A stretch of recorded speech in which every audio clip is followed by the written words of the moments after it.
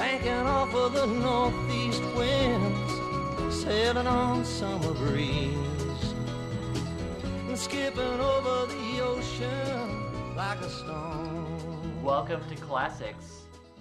All right, so the movie that we watched was Midnight Cowboy from 1963. To earn cash as a freelance sex stud and work towards his dream of becoming a kept man, hayseed hustler Joe Buck heads to New York City, where an improbable friendship blooms when he meets seedy con man Ratso Rizzo. What, what, what do we like about Midnight Cowboy? Oh, act, by far, the acting in this movie was fantastic. You could not. I, I can see why this picture why this movie got Best Picture. Just Dustin Hoffman was just fantastic at this movie. I, I- I, I don't know who the actor movie. for Joe Buck was. Um, that's Jen Voight. Jim Voight was just excellent. I sat there Star of like Anaconda. you know, and I still haven't yeah I still haven't seen some of the older Dustin Hoffman movies, but this was just perfect. Like he played. These characters were so believable. Like, yeah, I can definitely believe these people. It He- was it was amazing. the ticks down Yeah. and just like all all this stuff and yeah, Dustin Hoffman it, it just kills this movie for me. Just I I don't have a lot of likes this movie, which is not really. It's not. I don't feel like it's necessarily the movie's fault so much as the era they came out in. But uh, God, Dustin Hoffman and, and you know what, Jon Voight too. J- Jon Voight as as this kind of this naive uh, Texan boy, co- uh, like coming from apparently some really horrible stuff uh, i- into just he's like I'm gonna make a new start and I'm gonna go be uh, gigolo and have sex Well- with some ladies and get some money. But Well- yeah, I, I, I think the real the real shining thing in this movie is Dustin Hoffman and to a lesser degree Jon Voight's uh, acting. But I would actually say I would actually flip that. I think Jon Voight gives the best performance in this movie. I think Wow. I, I, move like four feet away Yeah. from you in disbelief. no, I, I Really? honestly, yeah. I mean, I honestly, I couldn't took, take my eyes off Jon Voight in this movie. I thought he was there was such a magnetic performance here. Uh, I thought Dustin Hoffman's was a little bit more gimmicky. Uh, I just found Jon Voight's performance much more honest and much more interesting and, and intricate. Probably the best role of his career. Well, that, I'm Oh, not yeah. gonna disagree with you there. I just I don't know. There's just something about him in this movie that that makes it that you just can't turn away. I mean, and, and Dustin Hoffman to uh, just a slightly lesser degree, in my opinion, uh, for the same same reason. You just like these characters. You just cannot stop watching them. You just like you just you're just glued to them.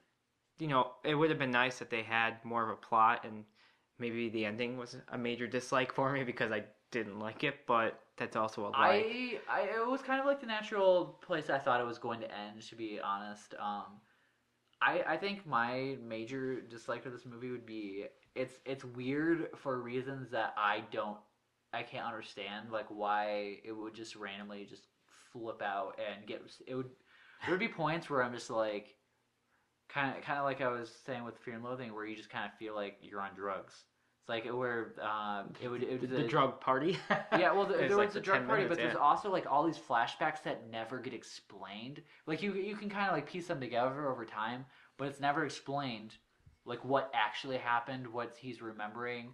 Um, I kept thinking he got molested as a child be, because, well, one because he was going into like sex trade, and also because they kept flashing back to like him like laying in bed with like his grandma and grandpa and stuff like that, and and it's like okay well it, but it would come in like dream sequences so it's like well did this actually happen? And then like the, it would change at different points like what what actually happened so it was so hard to tell what the shit was going on and i feel like it was supposed to give you important backstory at the same time just give you it's all like so vague I, I could have done without that. I could have just done with a little more clarity, and even just him saying, like, explaining something, like maybe having a moment with, uh, with Rico, and saying, "Hey, man, you know, this this happened to me." and this is why I'm here. Uh, you know, that was one of the, my major dislikes too. Is um, there are these all these clips of his backstory, and it doesn't necessarily explain his backstory, but it alludes to the fact that um, maybe his grandmother was inappropriate with him, um, and he had some bad sexual experiences as a teen. Um, but and and that's all kind of couched to kind of explain where he is in his life and he, and where he is as a person and um, I actually think he's uh, actually gay I yeah, he, a he's- repressed gay Yeah. person. So, and I think that's all to try to explain that. But at the same point, like I, I feel like it's such a half-ass way to try to explain who he is and why he is that it, it would have just been better if they just didn't include that at all. Uh, either don't include it or uh, Yeah. just lay it on the table at some point. That plus all like the weird religious overtone to this movie, which again never Oh, gets explained. yeah. It's like uh, like everything seems to come back to like Jesus and God and everything, but with no real context to anything. Eh, but they kept it like every few scenes, like you'd hear it on the radio, or they would show like uh, signs or uh, or whatever of people being religious, and it's just like, all right, I you keep telling me this, so I, I guess it's important, but why? Why is it important? Like, cause his like second client. I mean, it was like, oh, we're gonna do this thing, and oh wait, Yeah, all oh, of a sudden he opens the bathroom pray. door, and there's Jesus sitting right there. it's like Pray oh, with me. Okay, this is like the fifth time you've mentioned God in this movie. Is this a theme? but but without like again without ever giving you anything. I guess you're supposed to just figure that out for yourself. I, I didn't really pick up on the religious elements of this movie.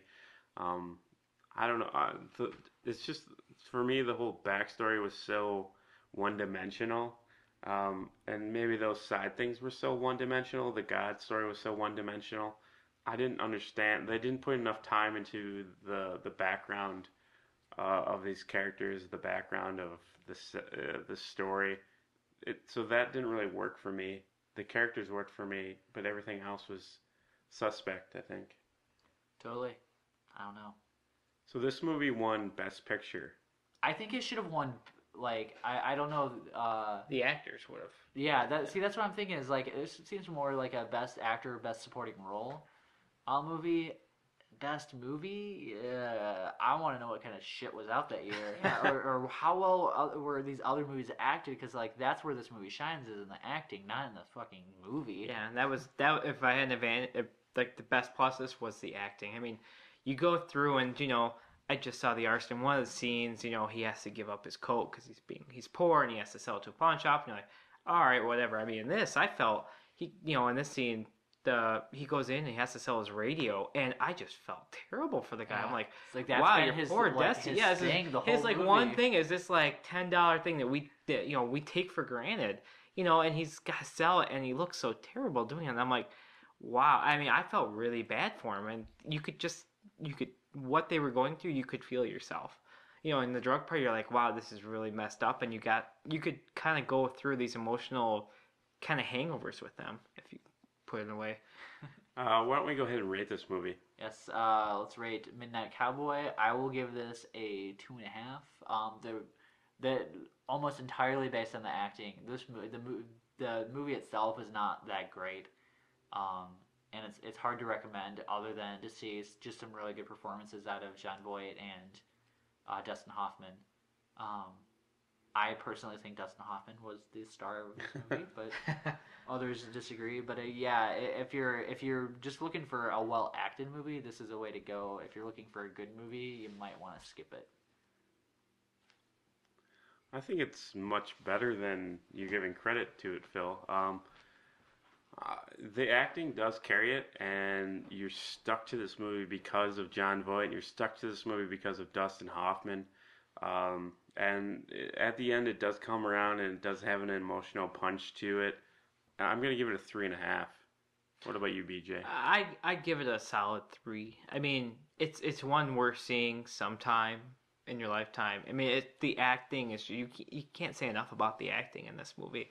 You know, if there was more of a a plot or you know more of a point to the movie, I could see giving a four and a five. Like if they had this acting nowadays. And with you know, even if the semi plot, it would just be hands down to be a best movie. But the plot kind of held it back. There was no you know, there was no point to the movie. I mean, yeah, I I can see some. You'd have to really kind of stretch to find a reason to give this movie a plot.